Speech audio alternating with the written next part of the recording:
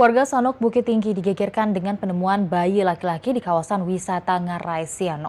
Diduga bayi yang diperkirakan berusia sepekan ini merupakan hasil hubungan gelap.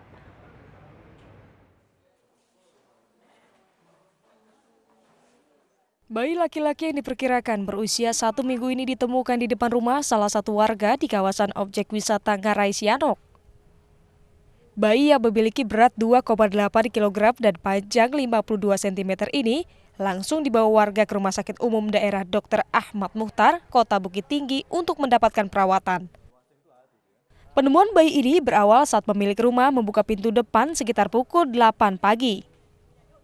Saat itulah ia kaget ada kotak berisi bayi. Sementara itu salah seorang warga lainnya menyebutkan bayi ini diduga diletakkan oleh pelaku sejak malam hari.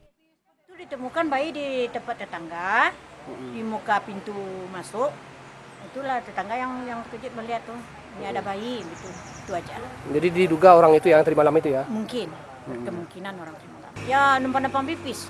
Hmm. hmm, bilangnya numpang pipis baru dilihat dia pakai uh, pakai kresek mal kepala dia no ditutup sama mantel hujan. Hmm. udah tuh dibilang sama orang punya rumah. Anak anak ibu. Eh mengatur. Hmm. Bayi diduga sengaja dibuang oleh orang tuanya lantaran malu memiliki anak di luar ikatan pernikahan.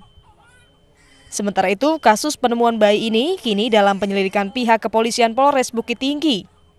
Dari hasil penyelidikan awal, pelaku diduga memiliki kekerabatan dengan pemilik rumah tempat bayi ditemukan. Dari Bukit Tinggi, Sumatera Barat, Wahyu Sikumbang memberitakan.